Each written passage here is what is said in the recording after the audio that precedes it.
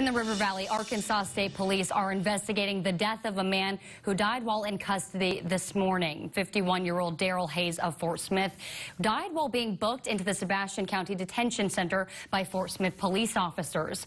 Hayes was a passenger during a traffic stop and was arrested on an outstanding warrant and possession of drug paraphernalia.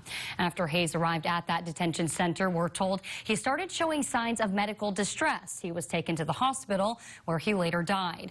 There's no indication that his death was a result of police action. An investigation, though, is still underway. Two officers have been placed on paid administrative leave pending the results of that investigation.